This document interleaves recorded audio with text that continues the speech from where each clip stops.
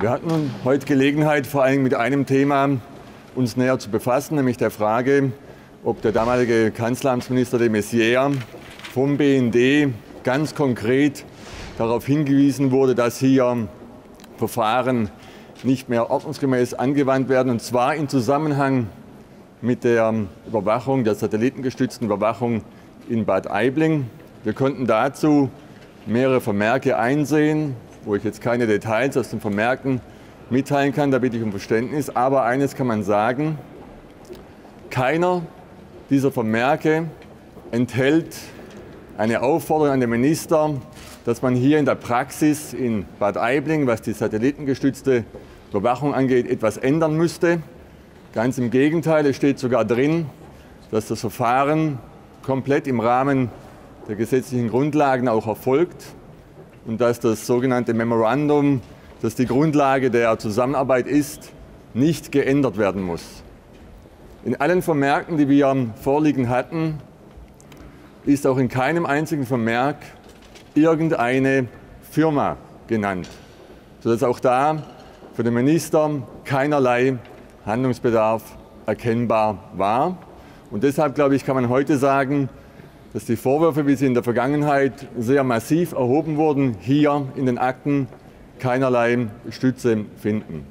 Lassen Sie mich noch, weil es uns auch wichtig war, wir werden zwar nachher die Sitzung ja noch fortsetzen, zwei Sätze zum Verfahren sagen, Stichwort äh, Selektoren. Der Präsident Schindler hat uns geschildert, dass äh, die Suchbegriffe nach einem mehrstufigen Verfahren geprüft werden, um eben zu erkennen, wo sind Suchbegriffe dabei, die nicht von unserer Rechtslage gedeckt sind.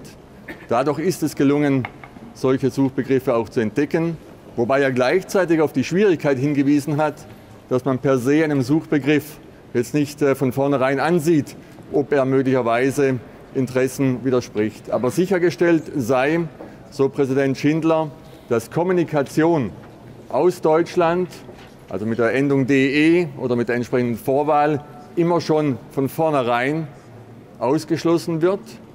Und für den Fall, dass eine Kommunikation aus einem Krisengebiet erfolgt nach Deutschland, auch diese Kommunikation ausgeschlossen wird und sofort gelöscht wird, sodass man hier sagen kann, ist der Schutz der deutschen Bürger eingehalten worden.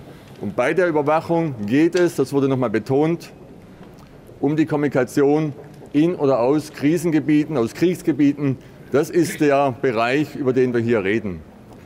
Bei den Selektoren sind die Zahlen ja immer sehr groß, diese höheren. Wir haben heute auch noch mal Zahlen vorgetragen bekommen. Ich will nur eine Einschätzung geben zur Relation. Nach dem, was der BND uns erzählt hat, im Verhältnis der zulässigen Selektoren im Vergleich zu den erkannten nicht zulässigen, bewegt sich die Zahl der erkannten nicht zulässigen Selektoren im Bereich von weniger als einem Prozent.